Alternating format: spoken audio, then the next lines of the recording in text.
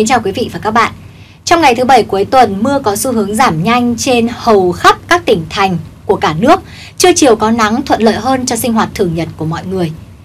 Cụ thể ở miền Bắc, ban ngày trời phổ biến ít mưa, có nắng trở lại với nhiệt độ trưa chiều tăng ở khoảng là từ 32 đến 35 độ, thời tiết bắt đầu cảm thấy oi và hơi nóng. Dự báo trạng thái tạnh giáo còn kéo dài những ngày tới. Mưa rông tại các tỉnh thành Trung Bộ cũng có xu hướng giảm dần trong những ngày tới. Trong ngày thì trời có nắng với nhiệt độ tăng nhẹ, phổ biến là từ 33 đến 36 độ. Nắng nóng xuất hiện cục bộ, tập trung ở khu vực vùng núi phía Tây. Đến chiều tối thì do ảnh hưởng của hình thế gây mưa yếu từ biển, khu vực từ Đà Nẵng trở vào đến Bình Thuận có thể xuất hiện mưa vài nơi. Tuy lượng mưa không lớn và chỉ diễn ra trong khoảng thời gian ngắn. Với các tỉnh thành phía Nam, bao gồm Tây Nguyên và Nam Bộ, mưa còn diễn ra rải rác vào chiều tối và đêm, còn trưa chiều thì có nắng gián đoạn.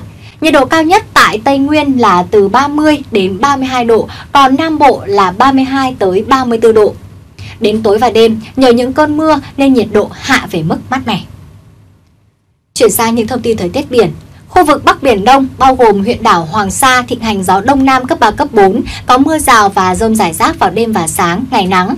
Khu vực giữa và Nam Biển Đông bao gồm huyện đảo Trường Sa có gió Tây Nam xuống dưới cấp 4, chiều tối và tối có mưa rào và rông rải rác, tầm nhìn giảm xuống từ 4 đến 10 km trong mưa. Tàu thuyền nên lưu ý khi lưu thông tại khu vực trên.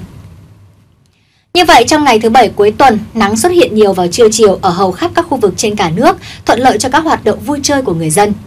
Đến đây, bản tin thời tiết sáng ngày 23 tháng 7 của Đài truyền hình kỹ thuật số VTC xin được khép lại. Xin kính chào tạm biệt và hẹn gặp lại.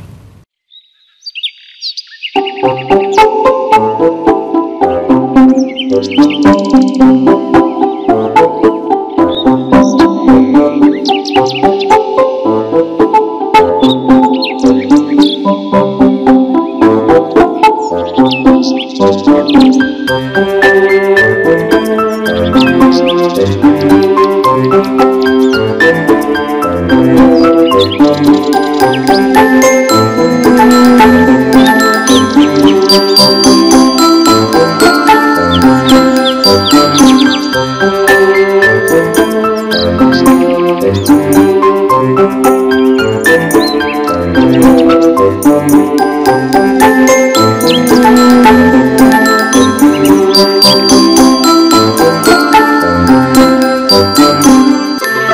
Música